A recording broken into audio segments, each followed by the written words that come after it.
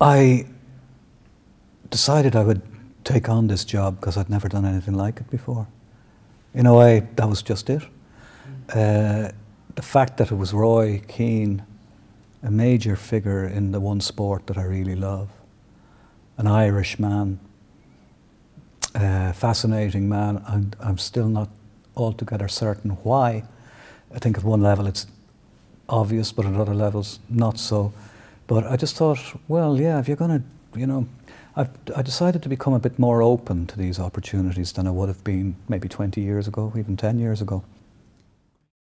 I think the first meeting was in Dublin. Uh, we met in a little conference room in a hotel right beside the airport, and uh, four hour, a four-hour session.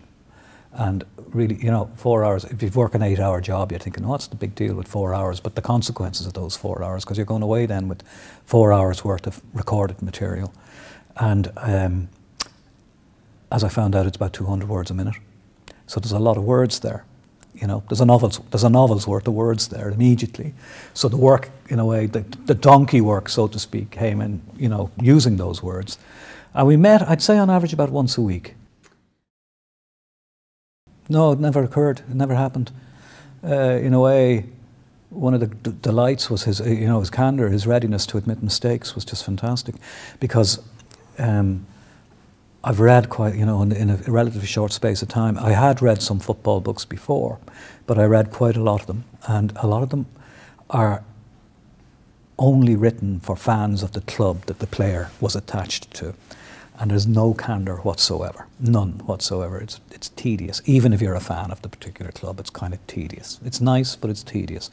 But what I liked particularly was his readiness to admit errors and to learn from those errors and his, you know, saying things like, and what I would do in future. Because that's, uh, there aren't all that many people who'll be quite frank about that. Well, a sequel, it would be a, the third one uh, we both need to do a bit of living. So maybe if it was 12 years down the line, he'll be 50 something or other, I'll be 67 or 8. Um, I mean, yeah, so hypothetically, yeah, but I don't, you know, I, I wouldn't be, you know, I wouldn't be waiting up for it. And I, I, I'm kind of reluctant to say never, but I, I, I can't think offhand of another figure in sport or anywhere else that would intrigue me enough to do the job again. And um, I am essentially a novelist who does other things now and again. So I, you know, I'm back working on a novel, and it feels nice, you know. So that's that's what I'd be doing for the foreseeable future.